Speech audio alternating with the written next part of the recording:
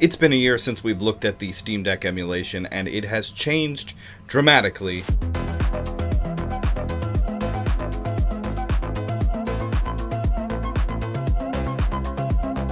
Before we dive in, the winner of the Anbernic RG35XX Plus is in the comment down below. If you'd like to win another handheld in an upcoming video, make sure you're subscribed because we do these giveaways almost every video. So, with the success of the Steam Deck, everything has actually been blowing up over the last two years this thing has been out. EmuDeck has gotten a complete facelift and an entirely new way of porting up your ROMs and a super easy dashboard to use everything on. In addition to a lot of people and the community helping out to get all of the emulator backends figured out, And this gets all the people who bought Steam Decks up and running their old consoles.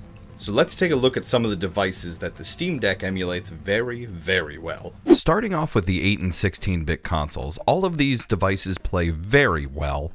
But here's some Game Boy Advanced uh, if you ever wanted to see a Game Boy screen this large in the palm of your hand with OLED goodness. Now we'll move on to the next generation of gaming, which would be the PS2 and GameCube eras, where the PlayStation 2 runs fantastic in addition to the GameCube running fantastic here. This handheld is pretty overpowered for these things, so you'll actually be able to upscale some of these. Moving on to some more 3D intensive consoles, we have the Nintendo 3DS in addition to the PS3. The 3DS will play just fine on here. Depending on your game and compatibility, you can use the trackpads or the touchscreen to make the bottom screen work and then switch between the two and turns out pretty nicely. For the PS3, some games will play, some will not play. When I loaded up God of War, that title is just a little too intensive for the emulator cores and how this runs currently. But some of the games will play a lot easier just due to how they were designed and a little bit less graphically intensive, like Heavenly Sword here.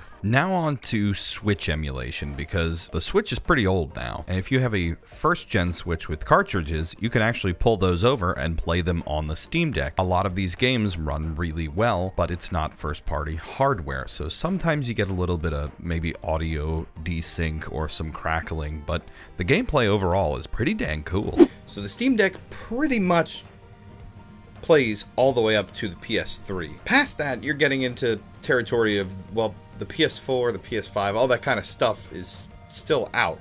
And the Switch is still out, but maybe you have an original Switch with a bunch of cartridges that you need to just pull over to the Steam Deck because, well, that's the newer device now. So this does do Switch emulation, and it runs great. With all these emulators running so well, let's take a look at the back end that gets everything ready to be played like you just saw. That's done with a software called EmuDeck, and if you're looking for a guide, Retro Game Corps and EmuDeck, at least it's on their website, did one already.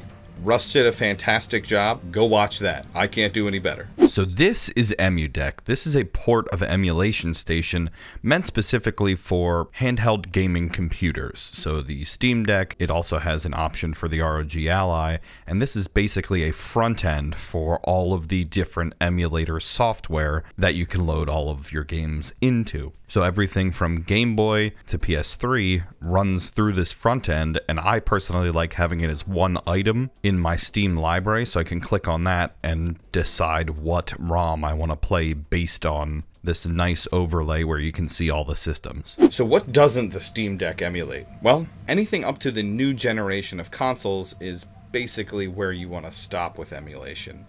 Around the PS3 era is kind of where I call it quits because a lot of these games are still available to play on game streaming and game passes and stuff like that, so I don't feel the need to have any of those games on there. But if you're looking for a ROM limit, PS3 is kind of where it's at. Everything else and below plays just fine. In my opinion, the Steam Deck has only gotten better over the last year, and I think it will continue on that trend. So many more people are picking these up because of the different sales and different options that they have available, making this a very compelling reason to pick it up just for emulation. Not to mention that you have an entire Steam library in the background if you've ever been suckered into a sale. And we all know you have been. Don't look at me. We know it's you. If you'd like to see more about this device or another version of the Steam Deck, check out one of these videos because we've emulated so many different things over the years. Might as well watch a video or two about it. They're free. We're giving them away. Games ain't free. I don't smell the truth, I see it. I'm losing my mind.